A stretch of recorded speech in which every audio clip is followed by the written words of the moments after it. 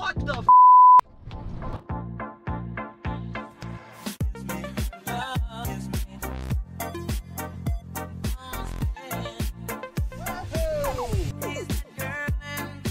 Next I give me $500.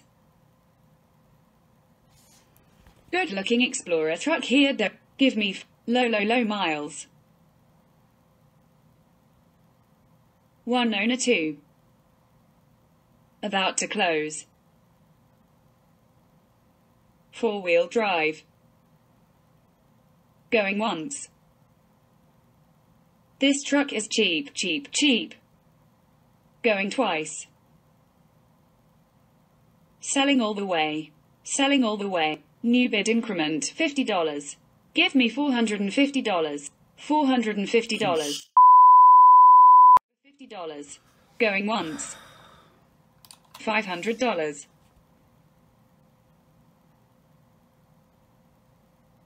We're going to going twice.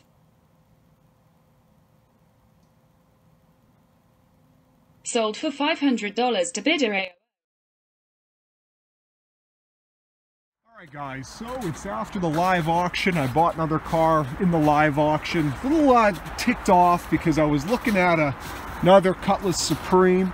This one had the later 3.1 that has the head gasket issues. Regardless, I was still interested. So there I was doing my due diligence, making sure the head gasket was good the best I could, checking the coolant reservoir, checking the hoses. And uh, some guy, I didn't even see him bidding on it, threw a quiet bid like I always do. I thought they were still dropping the price now. We grabbed it for 300 bucks. Would have loved to add that to my collection. Unfortunately, not going to happen. But here we have the Explorer that I bid on this morning. This has the OHV, the old school 4.0. So no timing chain issues with these. It's a one owner with 80 something thousand miles. I think it's 82 or 83.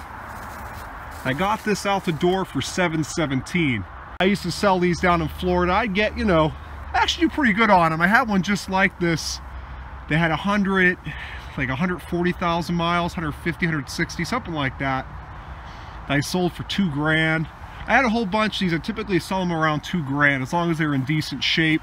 This one's got 80,000 miles, has very good service history, mostly dealer serviced or at the same independent garage. So I feel pretty good about it. I haven't started or anything yet. I just got down here. Had to find it. it was way in the back. And uh, I'm gonna hop in there now. I got my hands full, so I'm gonna put my stuff down and I'll turn the camera back on. 81,807 miles. And oil change is still current. This was recently inspected back in October. There we go, fired right up. I'm hoping I don't find anything wrong with this one. Uh, you know, the only real risk with an Explorer like this, an older one, it's not nearly as high of a risk as the ones that followed, the third gens, is the transmission. And I do have an ABS light, you know, it's got to be a, a sensor or something. It's not a big deal at all. But again, I'm just hoping that this thing is good mechanically and I can just send it right down the road. All right, she's all cleaned off. It was actually pretty easy. All the snow came off like a sheet.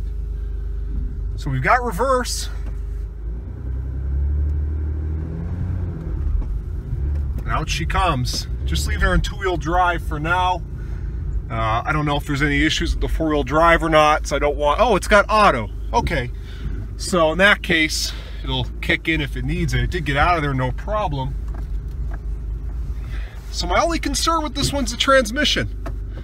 Um, and it looks like it might have been rebuilt because whenever the shift linkage in these is slightly off like that, the shifter, see how the uh, is more on the two than drive, it's usually a pretty good sign the transmission's been rebuilt. Not always. The steering on this thing is super tight. Uh, as I always do, I run the Carfaxes on these cars. And this thing has been impeccably maintained. All new brake lines over the years, ball joints, tie rods, everything that goes bad on these Explorers in terms of wear and tear, it's already been dealt with. So as long as she shifts fine, I think it'll be okay. This is a one owner vehicle, so I'm hoping that this guy finally just went out bought a new car or maybe he just stopped driving or whatever and that's why they donated it and not because there's something wrong with it. Uh, that's usually the way it works with a one owner vehicle. you guys see I buy mostly one owner cars and most of the time they're donated just because they bought something new. They feel like they got their money's worth out of it. They don't want to deal with trading it in or selling it on Craigslist and they just donate it. Or a lot of times what happens is they'll buy a new car and they're gonna th they think they're gonna keep the old car and it just sits around, they never drive it, so they donate it. Uh, the other reason cars get donated is the obvious reason because there's something wrong with them. But this one so far so good. I'm just gonna pull it out front where I can do a better inspection of uh, everything. All right, so I'm out here in the Explorer. I've only found one issue with it, which isn't terrible at all. The rear shock on the passenger side, the mount has rusted off. The way it rusted off, the mount's basically still on the rear end, but the shock is separate.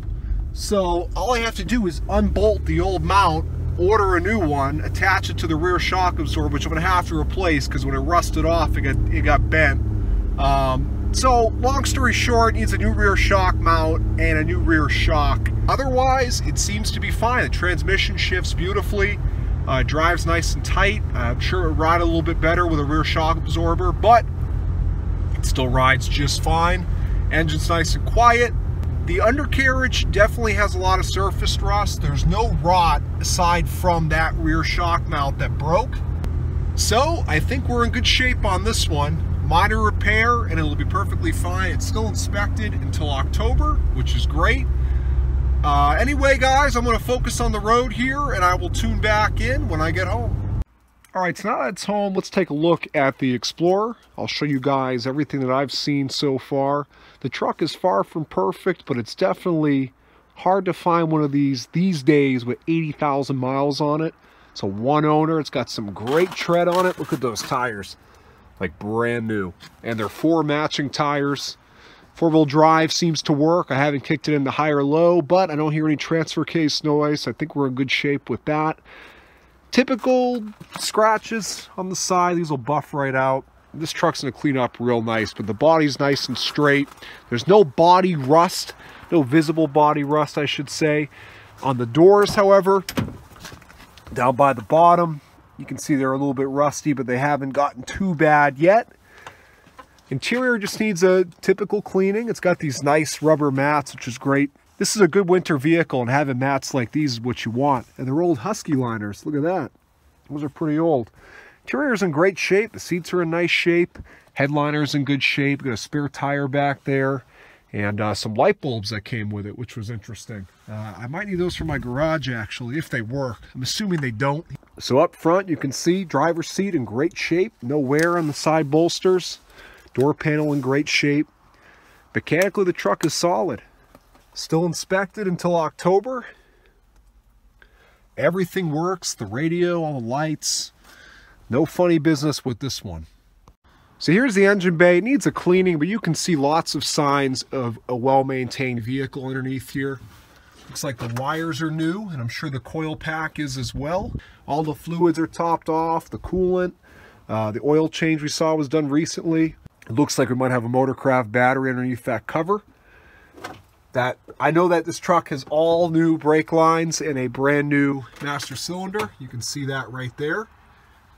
Pretty recent at least, not brand new, but recent enough. And it looks like the power steering was serviced at 71,000 miles and a fuel service as well. Uh, whatever a fuel service entails. Maybe it was injectors, maybe it was just the fuel filter, some injector cleaner. The hood needs a, a buff to bring back its uh, shine. It definitely still has shine. There's no clear coat damage, just a lot of dirt that's collected up on the hood there. That'll clean right up, no problem. Again, those tires are great tread. Looks like we're missing the center cap for the rear wheel. Not a problem, very easy to get. And the story's pretty much the same on this side. Typical rust in the doors, but there's no body rot no rocker rot. There might be some obviously underneath these rocker panel covers. It's a typical Ford thing. They have these plastic covers in the rockers, which look real good uh, until you check underneath the vehicle. But the key thing is that it is inspected. Actually, the rocker panels look fine. And you can see the frame has surface rust, definitely a fair amount, but there I checked very thoroughly. There is no rot in the frame or the body mounts or anything like that. Here is the only issue with the truck, and I just noticed there's a little bit of rust starting back here. So there is some body rust. Not terrible, definitely fixable. It's a very small area, but there is some rust nonetheless. Got that original dealer sticker on the back coming underneath in the back here, this is where the only real issue is with this truck. You can see the rear shock absorber on the passenger side has just totally detached where it mounts. You can see those new brake lines and stuff back here. Uh, looks like there's new hoses for the new brake hoses for the rear calipers as well, at least on that side.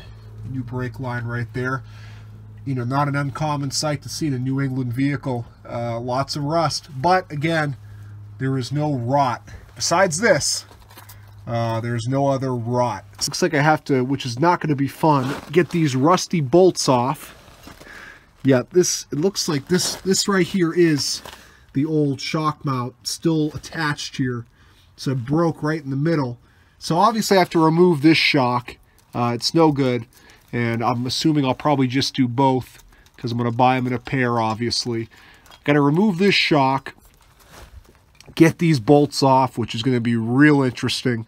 But once I do, I can remove this broken bottom shock mount, order a new one and the two new shocks, throw them in, new shock mount, bolt it back up, and we should be good to go. Otherwise, it's uh, about what I expected it to be. I obviously wish it was a little less rusty, but it really isn't that bad for a Ford Explorer. It's been in New England for over 20 years. The miles are low. Mechanically, it is sound, as sound as sound can be.